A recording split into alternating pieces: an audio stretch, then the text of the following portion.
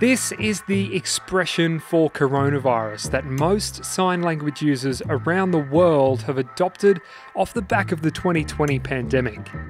If you think visually, it actually looks like the actual virus that has a crown. When did you first see or come across the coronavirus crown expression? Oh, well done. Very, very good. I like that you've just. right? Yeah, that all right? it was perfect.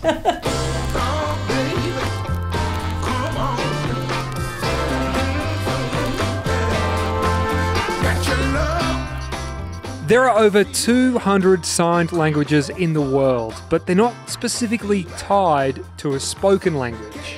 Like there's no direct equivalent of a signed language to English.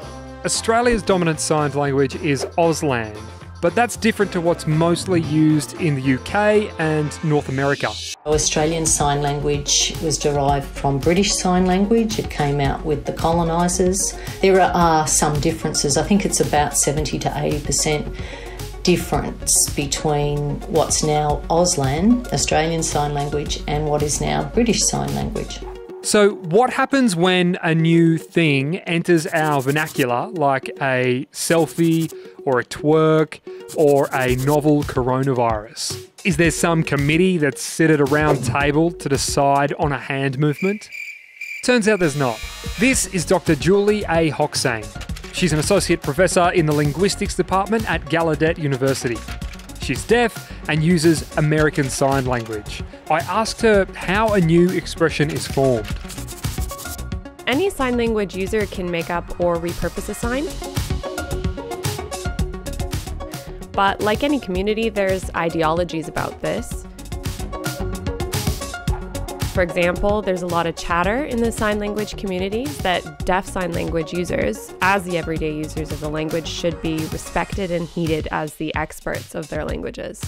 Ultimately, which words and phrases get accepted by the community is actually more of a subconscious, gradual, and organic process that plays out over time. It's most likely that this coronavirus expression originally caught on close to the source of the initial outbreak. Then, as people around the world began talking more about coronavirus, the expression spread adjacent to the virus itself. But what's common across all signed languages is the intricate details of a message that can be communicated by the subtle changes in hand movement, body movement, and facial expression. You can sign the same thing but have a different facial expression, and it can mean sometimes the opposite.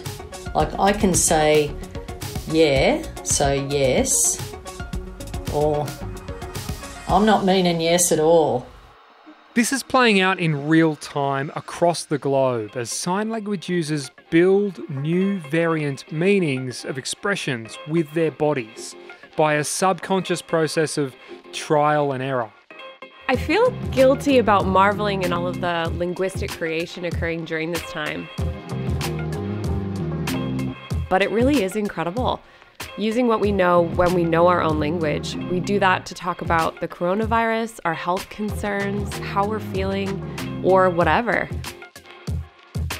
We're able to spontaneously and instantaneously create meaning from repurposing or reorganizing already existing terms, or create new items that all just get passed along through the online channels we're using these days Instagram, Facebook, Zoom, whatever.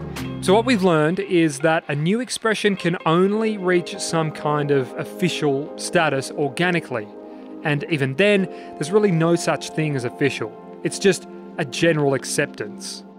Some sign languages are using sign banks. Sign banks are collections of short videos that present expressions and signs. They help curate the ever evolving nature of sign languages and make for incredibly addictive Instagram scrolling. Language, whether signed or spoken, is an incredible human tool that we can quickly adapt for our everyday needs. It's one of the reasons why we're able to survive and even thrive despite challenges like those raised by the pandemic. Thank you everyone for watching. There is so much more to sign languages than what I could fit into five minutes, but I certainly have a newfound appreciation for the guys and girls that we're seeing on our screens a lot at the moment.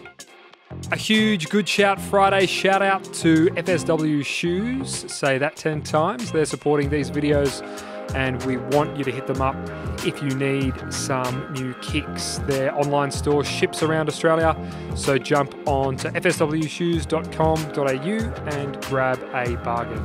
Until next Good Shout Friday, catch ya.